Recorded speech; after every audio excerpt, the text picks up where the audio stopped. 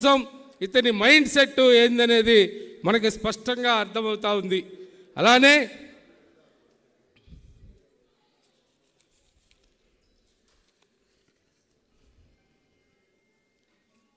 మూడు రాజధానులు మూడు రాజధానులు డిసెంబర్ ఇరవై తొమ్మిది పదిహేడో రెండు వేల పంతొమ్మిది డిసెంబర్ పదిహేడు తెర మీదకు తీసుకొచ్చారు. ఇప్పుడు కనుక ఈ పుస్తకం ఆవిష్కారం చేయాల్సిన పరిస్థితి కనుక సురేష్ కుమార్ గారికి ఇస్తే ఇంకొకటి కూడా రెండు మూడు రోజుల క్రితం తెరపైకి తీసుకొచ్చారు. నాలుగో రాజధాని అంట. నాలుగో రాజధాని మీరందరూ చూసే ఉంటారు. హైదరాబాద్ని మళ్ళీ మనం కంబైన్గా చేస్తే ప్రభుత్వంలో ఆలోచించి చెప్తామని చెప్తారు. ఇంకొక నాలుగైదు పేజీలు మనకి అదనంగా తయారయ్యాయి. అది అది ఇది లేకుండా.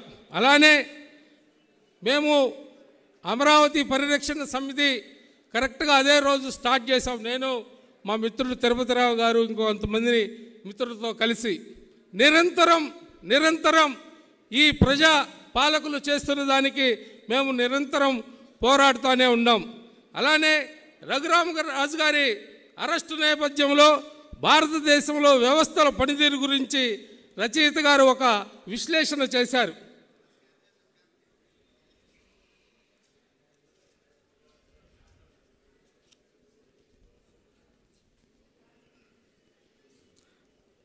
అత్యున్నత చట్టసభ లోక సభ్యు లోకసభ సభ్యుడైన ఒకరిని పోలీసులు పట్టుకెళ్ళి ఇష్టానుసారం కొడితే కేసు ఉండదు.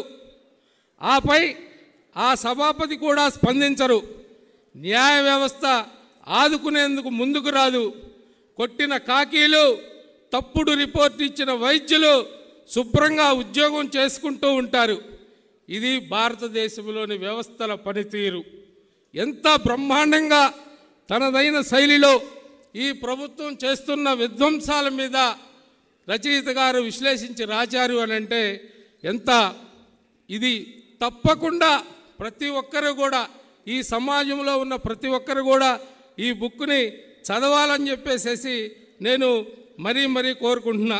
ఇంకొకటి సినిమా టికెట్ల విషయంలో కూడా మెగాస్టార్ చిరంజీవి గారు లాంటి వారు కూడా ఇక్కడికి వచ్చి ఈ ప్రభుత్వానికి రిక్వెస్ట్ చేసి వెళ్ళిన తర్వాత ఒక తుంగా లక్ష్మీనారాయణ గారు అనే ఒక మెసేజ్ పంపారు. ఒక సామాజిక కార్యకర్త.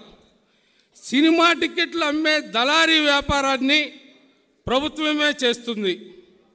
అలానే మాంసం వ్యాపారంలో కూడా ప్రభుత్వం ప్రవేశిస్తుంది. కానీ ప్రభుత్వం వాటాదారుగా ఉన్న గంగవరం పోర్టు మాత్రం ప్రైవేటు వ్యక్తులకు అప్పగిస్తూ ఉంది.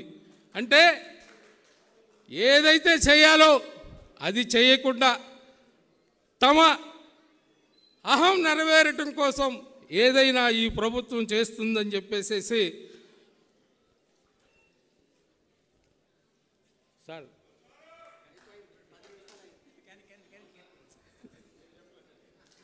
సార్ ఇలా